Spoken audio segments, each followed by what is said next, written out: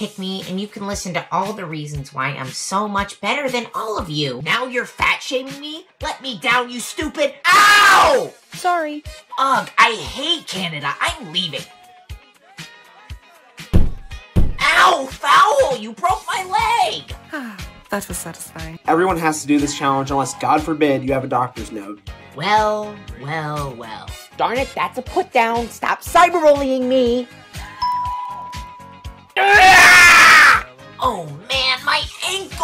Shut up. We all know you're just lazy and you don't want to do the challenge. And I'm so likable and smart. Did you guys know my IQ is 460 million? I just checked. Ugh, I'm getting behind on my burial list. Hey, did you just bump into me? Apologies, please. Um, I'm sorry? Sorry won't cut it. Give me that card right now. Finally, I can be team captain like I was always supposed to be. I'm the best. Hey, can we just get this over with already? And if Coral starts singing again, I'm suing for cruel and unusual punishment. Please tell me he's eliminated. Um, excuse me, this is absolutely unacceptable. I'm gonna talk to the guidance counselor about this. We don't have a guidance. Quiet, you. No way am I walking, not in my condition.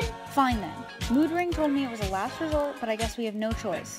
Pineapple, I'll get the legs. You get the ego. Oh, what? Alright, I think I have enough energy now. Whoa, put me down before I contact the authorities! As always, you know, I've had the most stressful life out of any other object to have ever lived. I faced so much adversity in life, far more than any of you guys could ever even dream of facing. And I've always come out on top.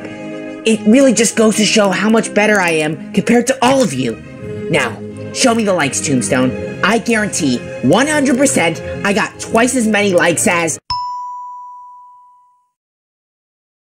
Once we subtract the likes from the dislikes, Piano Key wins the prize with negative 28 votes, and Gluestick is eliminated with 44 total votes. Again. This is Oprah! I'll get you all back for this, just you win!